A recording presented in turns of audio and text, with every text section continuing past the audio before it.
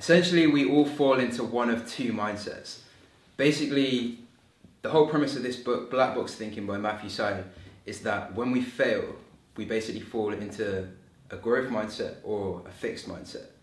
So let's start with a fixed mindset. A fixed mindset is when you fail at something and you try and shift the blame onto onto somebody else or onto external circumstance. So let's think of an example. For example, if you fail a test and instead of accepting that you didn't have the, the right skills or the right knowledge, you you try and shift the blame onto the fact that you didn't get a good night's sleep last night or that the test was just ridiculously hard. Um, so basically, this is a very limiting mindset because you're not able to search inside and try and find areas in which you can actually improve and you can influence instead of blaming external influences that you have no control over. But if we can switch our mindset to a growth mindset, which is what the book is basically all about, then we can actually search inside and find the areas in which we can improve upon. So let's, for example, say that your business failed. Now, somebody might say my business failed because the, the financial economy is, is rubbish.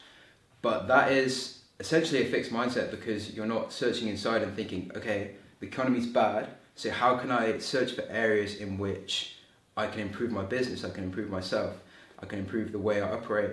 How can I search for areas in which I can improve and prevent failure in the future? So somebody might say, okay, I failed because my marketing was whack. Like, I didn't, I didn't engage with the right audience. I didn't do enough research. I didn't hire a, a marketing company to do work for me. Um, so the reason that they failed, they, they can identify that, and then next time, when they next time around with their business, um, even if the economy is bad, then they still they're able to improve upon where they, they failed last time, and that's very much the premise of the growth mindset. And if you can do that in business, if you can do that in life, if wherever you, wherever you pursue, if you can actually fail well, because we're all gonna fail. It's inevitable. Like nobody's perfect. We're all gonna we're all gonna fuck up at some point.